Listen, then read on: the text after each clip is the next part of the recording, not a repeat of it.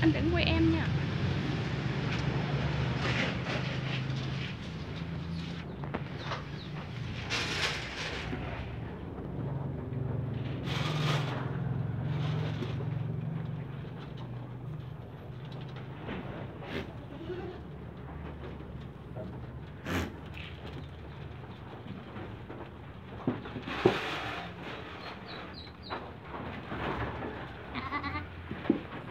dành một đống chui vô cái lỗ vậy